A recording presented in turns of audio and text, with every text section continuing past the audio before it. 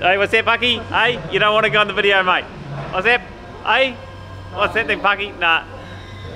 Morning, Daniel. How are you, mate? You're good? I just see a little jig there, mate, that looks like a uh, good example of some two-second lean. Pretty standard.